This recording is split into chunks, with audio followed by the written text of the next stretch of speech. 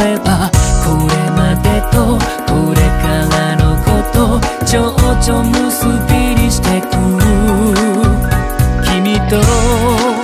めくり合った偶然は運命論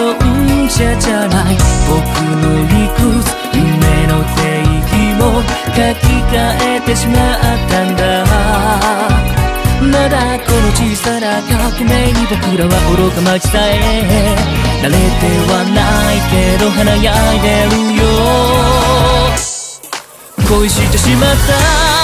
一つの事実でまるで世界が衣替えして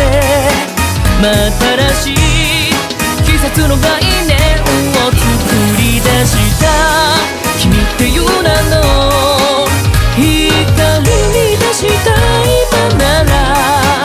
もう二度とどんな夜も